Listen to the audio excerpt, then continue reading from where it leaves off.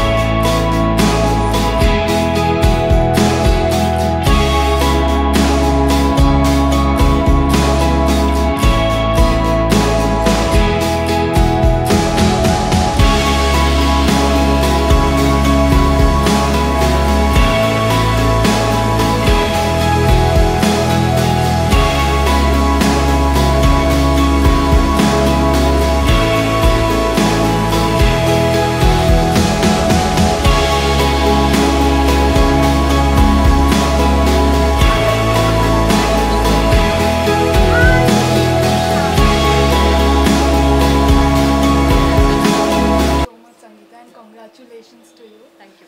And uh, congratulations to Sangeeta for this Aabaranam jewelry. I think it's a very uh, unique concept because uh, nowadays most of the bridal jewelry, I think we use it once. So it's a, such a great concept that she's put it up for rental.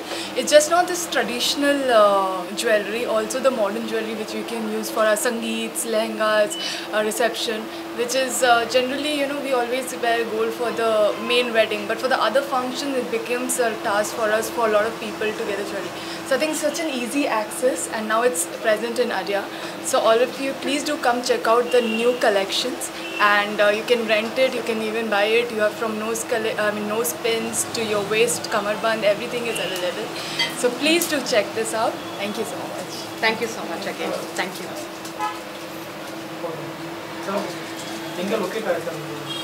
Okay. Please do visit. This is Aabaranam at Adyar. So this is our first showroom. We have started at Adyar. Um, this is just on the main road of Adyar, opposite to Gokul Arcade and above Apollo Pharmacy.